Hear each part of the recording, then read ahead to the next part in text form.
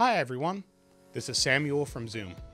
In this video, we'll review the voice guidance accessibility system in the H1 Essential, H4 Essential, and H6 Essential.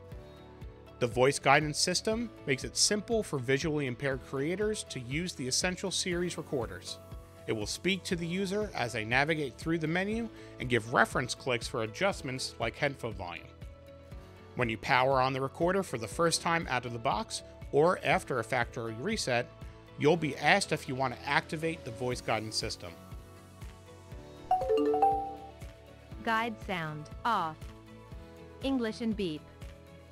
Otherwise, use the right side scroll wheel and enter button to go to the system menu, accessibility, and guide sound.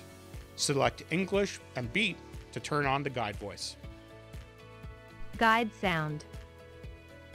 Once on, you can navigate through any menu for readouts. Input settings. Microphone. Input 1. Low cut. Phantom. Off. On. Phantom.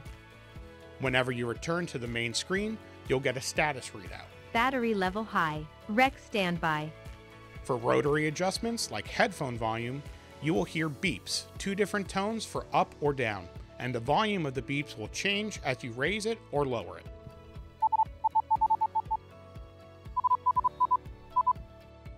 The guide voice will read out while using the mixer as well. Microphone. Input 1. 0.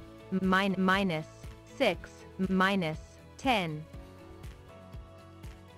The guide voice will be output through the headphones or built in speaker. Certain tones, like start recording, will only play if you're using headphones. This is to avoid unwanted sounds being captured in your recording.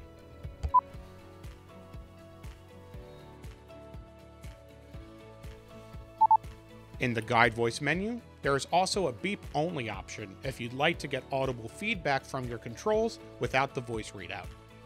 English and beep. Beep only. There is also a volume adjustment in the accessibility menu with quiet, mild, and loud options. This will change the volume of the accessibility system in relation to the other audio coming through your headphones or built in speaker. From the factory, English is installed as the language for the guide voice system.